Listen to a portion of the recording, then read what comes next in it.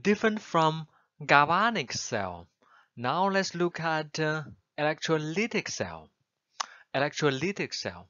So we are still based on the electrochemical cell that contains zinc metal, copper metal inserted into electrolyte solution that contains zinc chloride and copper chloride with membrane sep separates the two chambers from the zinc chamber from the copper chamber. But now different from electrolytic cell, we are applying a external potential through a external power supply in the reverse direction in the reverse direction with value greater than the equilibrium cell potential for the natural equilibrium cell potential for the zinc copper galvanic cell. Okay? So you are applying a external voltage in the reverse direction which means the electron trying to flow out from the negative electrode trying to come into the zinc while the copper, the electron are, is drawn from the copper. So this is achieved by applying another external power supply in reverse direction connected to the original electrochemical cell. And uh, the external potential absolute value applied should be larger than the equilibrium cell potential for the natural galvanic cell. So under this condition, you would realize that the cell current will be reversed. So instead of electron flowing out from zinc to copper, now we are drawing out electron from copper, pump it into the zinc.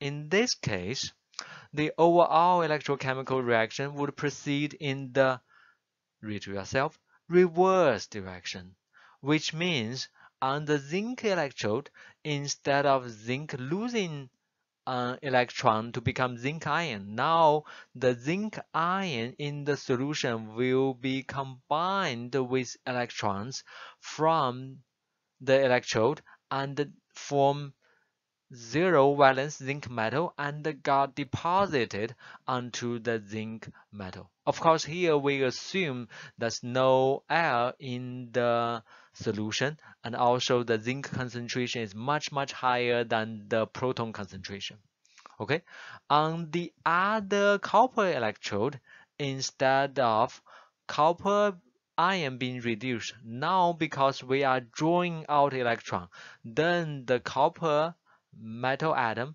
would uh, release electron and form copper ion that got dissolved into the solution and that electron drawn out is pumped through the power supply and injected into the zinc uh, electrode. That's why we say the overall electrochemical reaction would proceed in the reverse direction. Okay? And such an electrochemical cell would be called electrolytic cell. Electrolytic cell. Okay? And you will notice that in this case, we are spending electrical energy. We are consuming electrical energy from the external power supply and uh, get the electric part of the electrical energy stored as chemical energy as chemical energy in the form of deposited extra deposited the zinc metal on the zinc electrode okay so this is an electrolytic cell. And uh, people would encounter such electrolytic cell when they charge batteries or when people use electrolytic production of chemicals such as uh, chlorine and hydrogen as well as electrolytic production of metals such as uh, aluminum okay? So this is electrolytic cell. It is in terms of reaction reverse of the um, galvanic cell. And if we know I represent the net current flowing through the electrolytic cell again in this case electron flows from copper to zinc which means the actual current from flow from zinc to copper. In this case, based on Ohm's law that relates current, voltage, and resistance, as well as the addition of potential for an enclosed circuit, then from physics we know that the applied potential, the applied potential, which is uh, here, would be equal to the equilibrium cell potential for the galvanic cell plus the current times internal resistance for this electrochemical cell.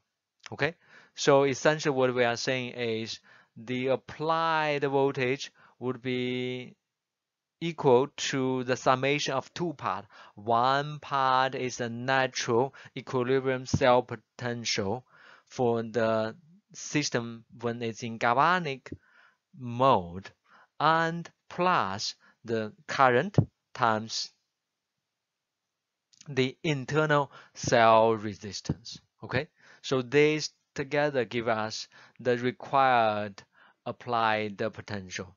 And of course, if you would like higher current, you have to apply the greater and greater applied voltage.